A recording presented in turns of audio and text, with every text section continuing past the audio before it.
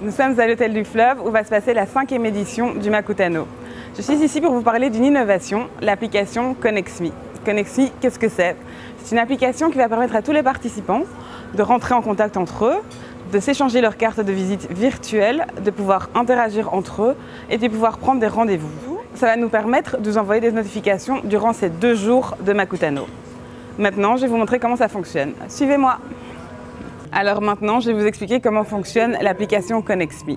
Donc après avoir téléchargé l'application sur l'Apple Store ou le Play Store, on ouvre son application. Donc ici, vous voyez qu'il y a différents onglets. Donc ici, le premier onglet important, c'est l'onglet où vous allez renseigner euh, sur euh, votre profession, vos, vos, intérêts. En fait, en gros, vous allez remplir votre carte de visite virtuelle. Dans l'onglet Interagir, vous cliquez dessus, vous allez pouvoir donc discuter avec tous les participants au forum. Donc, si vous avez quelque chose de public à partager, vous le partagez ici. C'est comme un espèce de mur virtuel en fait.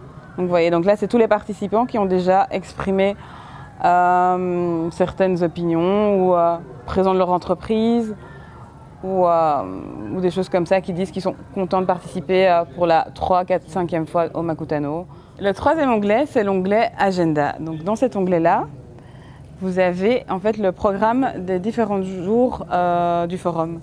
Donc ici, on a le programme du 6, donc avec toutes les heures et euh, chaque euh, table ronde ou plénière. Donc du coup, si j'appuie sur une table ronde, vous avez la description de la table ronde, vous avez les intervenants et vous avez aussi la possibilité de vous inscrire en appuyant sur le bouton s'inscrire. Alors ça c'est l'onglet invité.